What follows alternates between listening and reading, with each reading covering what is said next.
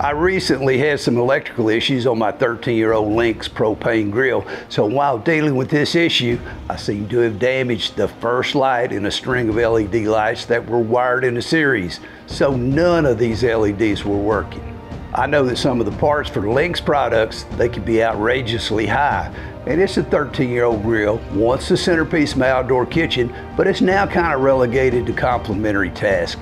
It's no longer the workhorse around here. I decided to try a workaround solution. I ordered some strip lights, 16.4 feet, blue, battery powered, LED, they even come with remote control. They have many different modes and they are dimmable. And this is a pretty straightforward project. All you gotta do is cut the lights to length, then peel and stick.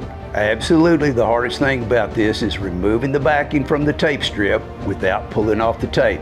It can be hard to get started. I bought the blue, but of course these lights do come in different colors or even multicolors. And on Amazon, the prices vary and they change often. And I stayed under $10 for mine from Amazon. Now, the absolute best part about this is they look awesome. Now, the way the lighting reflects off that stainless steel is simply amazing. The original lights were either on or off.